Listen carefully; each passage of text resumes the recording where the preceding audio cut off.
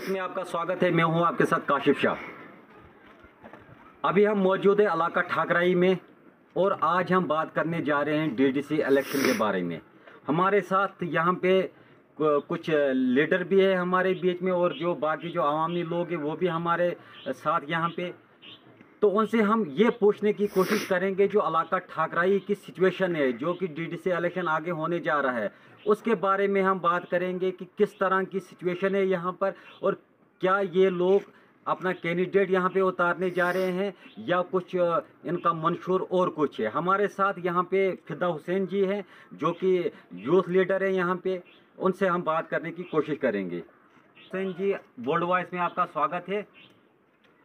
धन्यवाद। काशिफ साहब आपको मालूम मालूम होगा जो आपने सिचुएशन की बात कही। और यहाँ की जो सिचुएशन है जो इलाका ठाकराई है जो ये जो है बहुत पिछड़ा हुआ इलाका है। और हमने कल यहाँ पे एक आ, मीटिंग भी ली और मीटिंग में हमने पूरी आवाम को बुलाया। और यहाँ पे काशिफ साहब देखिए कि यहाँ के जो रोडों की हालात है यहाँ के जो स्कूल की हालात है, यहाँ पे जो जो हमारी मेन प्रॉब्लम है कि यहाँ पे एक छोटी मोटी मसले हमारे जो जितने भी चेहरे हैं, जितने भी चेहरे ये इलेक्शन लड़ने के लिए आए हैं, ये वही चेहरे हैं जो आज तक आते थे।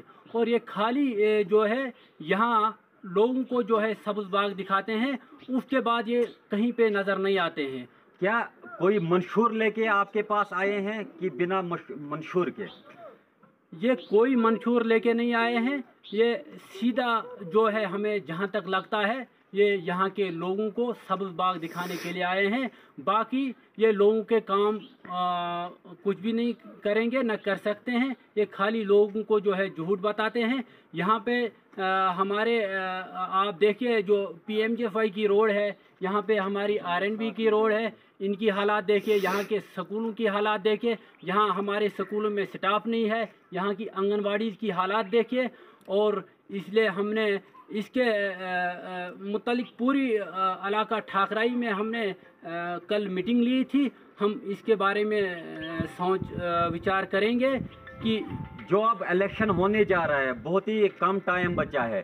तो उसके बारे में आपने क्या सोचा है? क्या आप इलेक्शन में हिस्सा लेंगे या कुछ और जो आपकी सोच है, इसके बारे में आप बताएँ मुझे हमने कल जो मीटिंग ली, हम इसके बारे में पूरा इलाका ठाकराई जो है, या तो हम पूरे वोट जो है बाइकाट करेंगे, या तो हम किसी कैंडिडेट को जो है मैदान में उतारेंगे, और इन अज़ीज़ हमारी जब हम कैंडिडेट को मैदान में उतारेंगे तो इन हमारी जीत होगी। हम डेवलपमेंट के नाम पे वोट देंगे, जो हमारा, यहाँ पे रहबरी जो हम, जो यहाँ इलाका ठाकराई के गरीब लोगों की यहाँ रहबरी और रहनमाई करेगा, उसको हम वोट करेंगे, उसको हम सपोर्ट करेंगे। ऐसे तो हमने क्लियर मीटिंग ली है, हम तो यहाँ इलाका ठाकराई में यहाँ तो हम वोट बाइकाट करेंगे, या तो हम किसी कैंडिडेट को मैदान में उतारेंगे। ये थे यही मंशूर ये थे हमारे साथ फिदा हुसैन जी।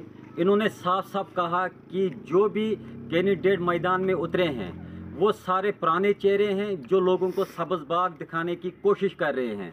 इनका ये भी कहना है कि आज जो लोग हैं जो वोटर हैं वो बड़े होशियार हो चुके हैं वो सोच समझ कर वोट करेंगे। और इनका ये भी कहना है कि यहाँ या तो हम यहाँ से अपना कैंडिडेट उतारेंगे, या तो जो पूरा इलाका है यहाँ का, जो मंगथला छन्ना इलाका है, फिल्लर इलाका है, या तो इनका ये कहना है कि या तो यहाँ से जो वोट हैं वो बाइकाट होंगे, जो इन्होंने मीटिंग भी ली है तो उसके, उस मीटिंग में इन्होंने ये फैसला किया है कि या तो यहाँ से जो वोटिंग है वो बाइकाट हम करेंगे, या तो यहाँ से कोई नया चेहरा आपको देखने को मिलेगा। मुझे दीजिए इजाज़त, आप देखते रहे the bold voice.